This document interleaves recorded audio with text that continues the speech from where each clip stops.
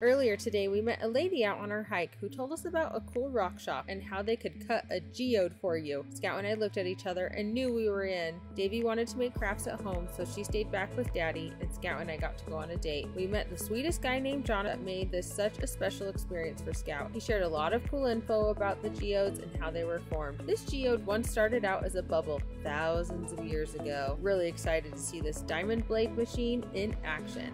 Scout was so excited to see the crystals inside her geode and felt so special knowing she was the first person ever to see the inside of it. I thought it was so cute seeing Scouty carry around her geode for the rest of the day. I think she knew how special and unique it is. I hope she always knows how special and unique she is too.